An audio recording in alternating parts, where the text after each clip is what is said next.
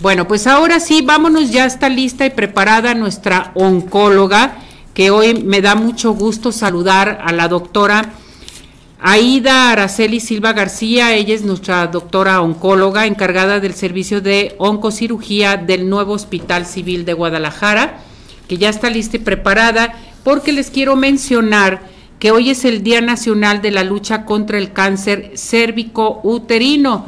Vamos a ver si ya está lista. Doctora Aida, ¿cómo está? Bienvenida, gracias por acompañarnos, por estar con nosotros. ¿Cómo están? muchas gracias a ustedes por la invitación. Gusto verla, doctora. Sí, ¿verdad?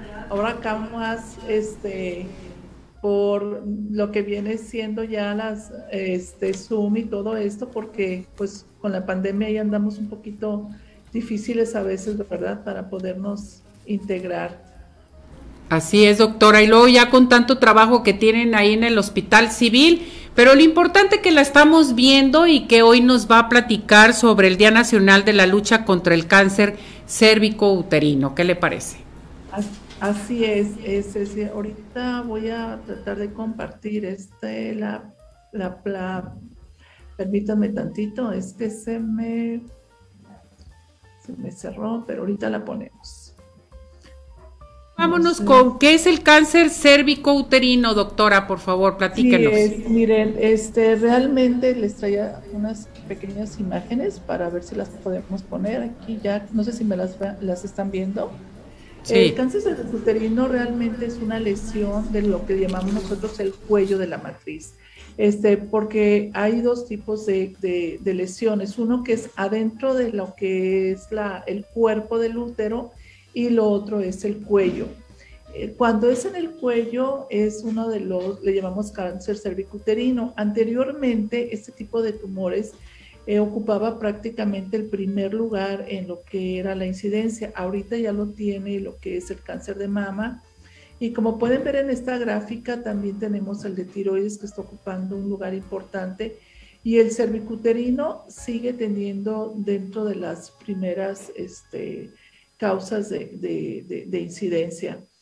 Y así tenemos, por ejemplo, que estas lesiones son detectables a tiempo, se pueden ahí sí se puede llamar prevención, porque es una lesión que primero empieza como una displasia o una lesión de alto grado, pero no es un cáncer. Después se hace un cáncer in situ y después un cáncer invasor.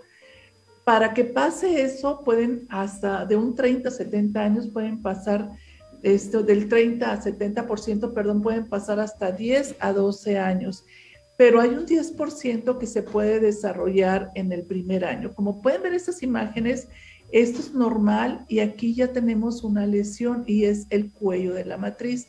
Esto, lo importante que, es, es que con un papá Nicolau, con ir a la revisión que se debe hacer uno cada año, lo puede detectar se puede presentar como una úlcera, como una infiltración y dentro de los factores de riesgo que tenemos relacionados con esto es con el BPH. Si tú te haces tu papá Nicolau y te dicen que traes BPH, aunque no traigas una lesión en este momento, hay que tener cuidado y hay que hacer un tratamiento para el BPH. Este, estos tipos son los más riesgosos, se puede decir, y los que pueden desarrollarse junto con el cáncer. Así tenemos que, por ejemplo, el BPH puede permanecer ahí y no dar ninguna molestia, o sea, le llamamos una infección latente hasta que se hace ya la lesión que vieron hace ratito. Y lo peor de todo es que la paciente puede estar asintomática. Si no va a hacerse su papá Nicolau, no se va a dar cuenta porque no va a tener ninguna molestia. Ya cuando va avanzando y el tumor se hace grande, se hace como un coliflor, entonces empieza a sangrar o empieza a tener un olor fétido este, que dice, ¿por qué huelo así de esa manera? Y es por la necrosis del tumor. Puede haber también las piernas se pueden hinchar porque ya están este, comprimiendo algunos de los órganos que están alrededor del útero y nos puede dar metástasis ya sea pulmón, a la misma cavidad abdominal, al hígado. Entonces tenemos que tener mucho cuidado en eso de ir a hacernos nuestros chequeos porque la etapa 1, se puede decir, o la etapa inicial del cáncer, tiene una sobrevida del 3%, en cambio una etapa 4 un 75%. ¿Y cómo lo diagnosticamos? Pues siguiendo hacernos nuestro Papa Nicolau, este, no, no siempre se tienen que hacer colposcopía, con que se hagan un buen Papa Nicolau, donde realmente esté una persona que les tome la muestra adecuadamente, porque ya ha pasado que llegan con nosotros y nos dicen, bueno, es que yo me acabo de hacer el Papa Nicolau hace un año y me dijeron que no tenía nada, o hace seis meses y resulta que tiene un tumor muy grande.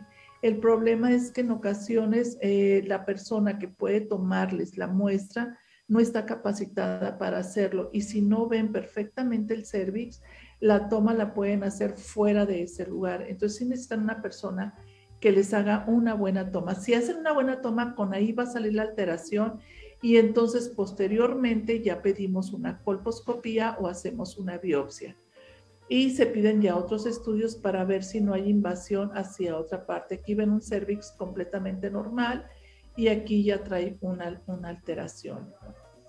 Las opciones de manejo para este cáncer cervicuterino pueden ser quirúrgica, que es desde quitar la matriz, que puede ser en una forma muy amplia, quitando ganglios, o hasta si es un cáncer que apenas inicia con una eh, retirar la matriz, pero sin quitar los ganglios.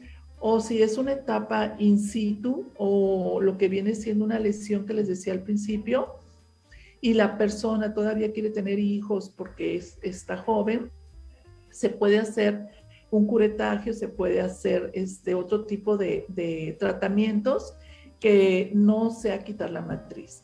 Pero si el tumor ya está muy avanzado y ya no se puede operar o hacer ese tipo de tratamientos, entonces entraría a radioterapia o a braquiterapia. Aquí tenemos una imagen donde pasan a, lo que es la braquiterapia, la radioterapia y aquí la braquiterapia.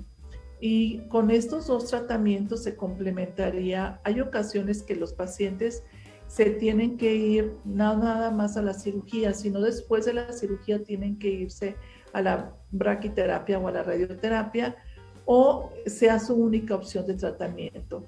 Entonces, ¿qué les quisiera yo dejar dentro de, esta presentación?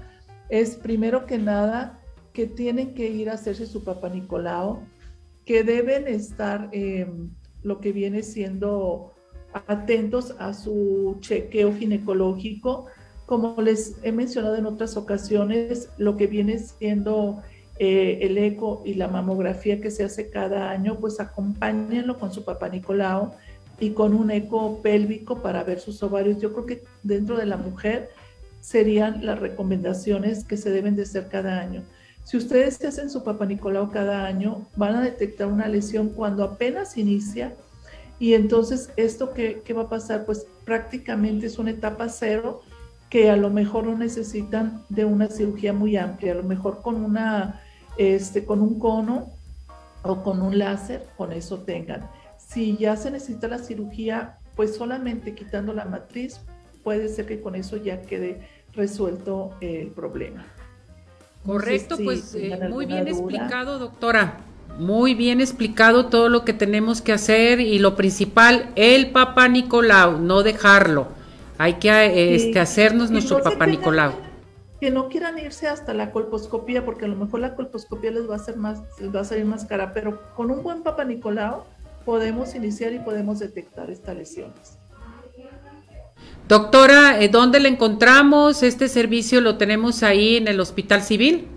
Sí, aquí lo tenemos. Ahorita estamos con un poquito de problemas con lo que viene siendo pues las citas y todo, porque sí, a veces está por el problema de COVID, que, que desafortunadamente parte del hospital está ya, este, pues que, que, aumentó pues el incremento de, lo que viene siendo el COVID y se está ocupando para eso, pero seguimos abiertos, no, ya no queremos cerrar, entonces aquí podemos este, darle la consulta.